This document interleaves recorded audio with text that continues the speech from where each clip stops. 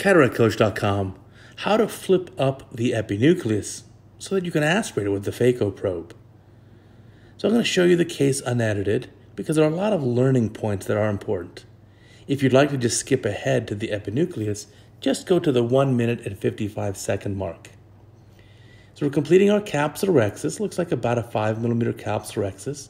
This is a fairly routine cataract, moderate amount of nuclear sclerosis. And now we're going to do some hydrodissection. Now, of course, we separate out an, an epinucleus from the endonucleus with hydrodelineation, but it's not my intent here. So we'll do a hydrodissection first. We'll go in various quadrants, and we see that the red reflex became darker, indicating that the fluid waves did go behind there. That looks good. Let's try rotate it. And it doesn't really rotate, so I'll do another injection. And look in that corner where the tip of the cannula is. You'll see we end up hydrodelineating. And so now, still no rotation. Here's the delineation. Take a look there. See that separation? So now let's put some more dispersive viscoelastic inside the eye. And we're going to do our phaco. I'm going to use a quick chop technique. So phaco probe going inside the eye.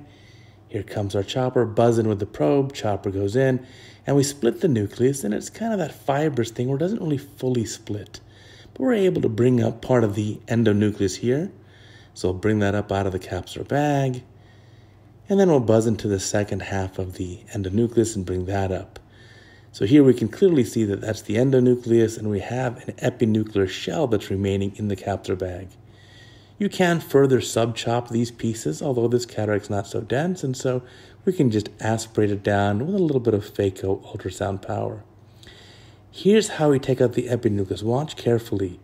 Vacuum only, no phaco power, and we grab it and the chopper helps to flip it up.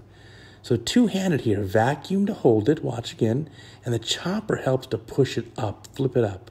Then it comes out of the capsular bag and it's easily aspirated. At this point, you can give a little bit of energy of ultrasound if you'd like to. But remember, when we're grabbing this, it's just with vacuum, no, no extra phaco power. I do not use a separate epinucleus mode most times. So in this case, it was just my regular standard phaco settings for CHOP, which is high vacuum, high flow. But what we do is we just go down partially on the phaco pedal. So I only achieve lower vacuum and low flow because I'm controlling it with my foot.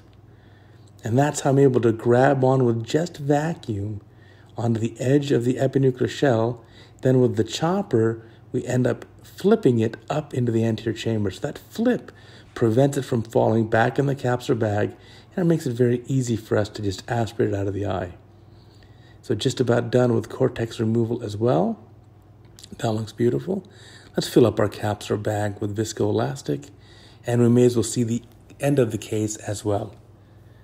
So a good trick we learned here for removal of the epinucleus. We want to flip it out of the capsular bag. Our single piece acrylic lens is going to go in the capsular bag now, just delivering it right there. And bringing out the injector, and we'll unfold this. This is a routine case. There's a black ink mark inferiorly for this patient on the right side of your screen with the limbus. That just shows me where that 90 degree meridian is. Patient's incisions made at about 180 on the steep axis. A little tiny piece of lens material there will aspirate that as well. It's stuck in the viscoelastic going behind the IOL to remove the viscoelastic, in front of the IOL, and we'll clean up the anterior segment here nicely. You can see that's a pretty good overlap of the optic by the capsulorhexis. That looks good. This patient's going to have a beautiful outcome. Some surgeons do like to have an epinucleus for every case. They like to hydrodelineate every single case, and that does provide a little extra cushion or barrier to help protect the posterior capsule. In my hands,